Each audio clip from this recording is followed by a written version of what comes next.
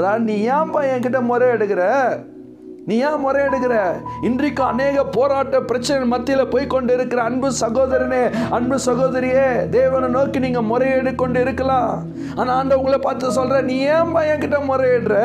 உன் பதில உன்கிட்டயே நான் வைத்திருக்கிறேன் என்று ஆண்டவர் சொல்லுகிறா உனக்கு விடுதலையும் சுகத்தையும் ஆரோக்கியத்தையும் கர்த்தர் உன் கையிலே வைத்திருக்கிறா உங்க கரத்துல தான் இருக்கிறது அற்புதம் உங்க கரத்துல தான் இருக்கிறது. என் இடத்துல ஏன் முறையிடுகிற என்று ஆண்டவர் மோசையை பார்த்து சொல்லுகிறா புறப்பட்டு போங்கள் என்று சொல்லுகிறா புறப்பட்டு போய் கொண்டு இருக்கும் போது ஆண்டவர் மோசையை பார்த்து சொல்றா உன் கையில என்ன இருக்குது? கோல். உன் கோலை ஓங்கி உன் கையை சமுத்திரத்துக்கு மேலே நீட்டு. நீ அந்த சமுதிரத்தை பிளந்து விடு என்று ஆண்டவர் மோசையை பார்த்து சொல்லுகிறார்.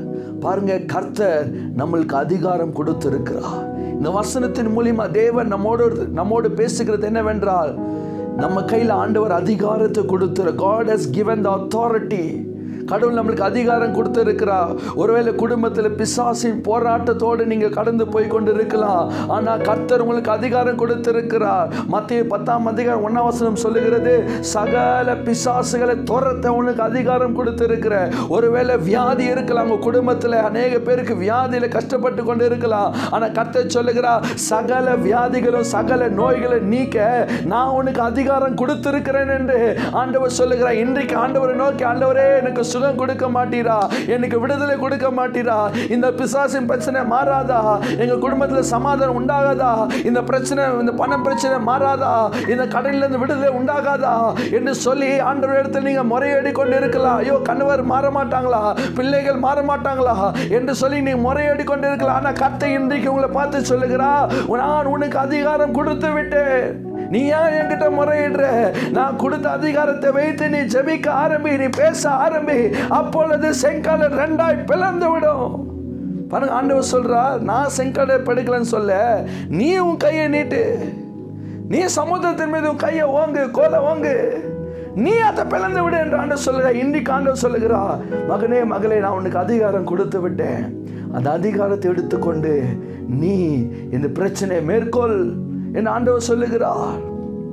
பிசாசின் கிரியலா ஆண்டு சொல்ல சகல பிசாசுங்கிற மேற்கொள்ள கத்தர் உங்களுக்கு அதிகாரம் கொடுத்துற சொல்லுங்க. ஆண்டு கொடுத்திருக்கிற அதிகாரத்தின்படி இயேசுவின் நாமத்தினாலே என் குடும்பத்தில் இருக்கிற பிசாசின் கிரைகளை நாங்கள் நிர்மலமாக அழிக்கிறோம் என்று சொல்லுங்க. அந்த மாத்திரத்தை பிசாசின் கிரைகள் நீங்கோ? கர்த்தர் எனக்கு அதிகாரம் கொடுத்திருக்கிறா வியாதி என் புருஷனை விட்டு என் மனைவி விட்டு என் பிள்ளைகளை விட்டு வியாதியே சகல வியாதியே சகல நோய்களை இயேசுவை நாமத்தினால வெளியேறவதாக என்று சொல்லி கர்த்தர் கொடுத்த அதிகாரத்தை நீங்க பயன்படுத்துங்க. இன்னைக்கு சபை பயன்படுத்தாம இருக்குது. அதனால தான் எல்லாரும் முறையடி கொண்டு இருக்கிறாங்க மா இது முறையடிக்கிற காலம் இல்ல உனக்கு கொடுத்திருக்க அதிகாரத்தை வைத்து நீ ஜெபிக்கிற காலம் பேசுகிற காலம். ஆண்டவர் சொன்ன எசைக்கலை பார்த்து என்ன சொன்னாருங்க? ஜோமம்மான்னு சொன்னாருங்களா? அந்த பள்ளத்தாக்குல அந்த உலர்ந்த எலும்புகள் நடுவில். ஆண்டவரே உயிரடியும் அப்படின்னு சொல்ல சொன்னாரா? ஆண்டவர் சொல்ற நீ பேசு. நீ பேசு மகளே. தாயாரே நீ பேசு பிரச்சனையை பார்த்து பேசு. கடலை பார்த்து பேசு. அமைதியா நில்லுன்னு சொல்லு. கர்த்தர் உனக்கு அதிகாரம் கொடுத்திருக்கிறா ஏற்க மேல அதிகாரம் கொடுத்திருக்கிறா பிசாசின் கிரிகள் மீது உனக்கு அதிகாரம் கொடுத்திருக்கிறா வியாதி மீது அதிகாரம் கொடுத்திருக்கிறா ஓ பிசாசின் சகல கிரிகளை மேற்கொள்ள கர்த்தர் அதிகாரம் கொடுத்திருக்கிறா எந்த பிரச்சனை இருந்தாலும் கர்த்தர் எல்லா அதிகாரம் உங்க கையில கொடுத்திருக்கிறாருங்க. இன்னைக்கு அந்த அதிகாரத்தை எடுத்துக்கொண்டு சொல்லுங்க. பேசுங்க அந்த பிரச்சனையை பார்த்து. ஒருவேளை சமாதானமே இல்லையா? ரோமர் பதினாறு இருபதின் படி பேசுங்க. சமாதானத்தில் தேவன் தாமே சாத்தானை ஏன் கால் கீழே நசுக்கி போடுவாராக? என்று சொல்லுங்க. ஒருவேளை கடன் பிரச்சனையா? ஒருவேளை தேவன் மத்தியில் போய் கொண்டு இருக்கிற கிறிஸ்துவின் இயேசுக்குள்ள மகிமன் ஐஸ்வரத்தின்படி எல்லா குறையெல்லாம் நிறைவாக்குவீராக? என்று சொல்லி அந்த வசனத்தை பற்றி பேசுங்க. பிசாசின் கிரியைகளா? இயேசுவை நாமத்தின வெள்ளம் போல சத்துரு வந்தாலும் ஆவியானோர் கொடியேற்றுப்பார் என்று சொல்லி ஜபிங்க. அந்த வார்த்தையை பேசுங்க. கர்த்தர் உங்க கையில தான் அற்புதத்தை வைத்திருக்கிறார். உங்க கரத்துல தான் கர்த்தர் பதில வைத்திருக்கிறார். ஆனா இன்றைக்கு நம்ம என்ன பண்ணுகிறோம்?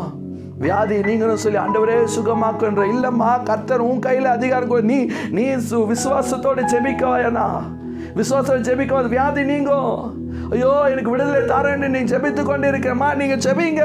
இயேசுவின் நாமத்தினால பிசாசே குடும்பத்தை விட்டு வெளியே போ. என்று நீங்க ஜெபிங்க. கர்த்தர் கொடுத்திருக்கிற அதிகாரத்தை நீங்கள் பயன்படுத்தி பாருங்க. கர்த்தர் உங்களை கொண்டு பெரிய காரியங்களை செய்ய வல்லவராக இருக்கிறார். மோசையை பார்த்து ஆண்டவர் சொன்னால் உன்னை கொண்டு நான் செய்ய போகிற காரியம் பயங்கரமாக இருக்கும். இன்றைக்கும் கர்த்தர் கொடுத்துருக்க அதிகாரத்தை எடுத்துக்கொண்டு கர்த்தருடைய வசனத்தை எடுத்துக்கொண்டு நீங்கள் பேச ஆரம்பிங்க. கர்த்தர் உங்களை வல்லமையாய் பயன்படுத்துவாராக.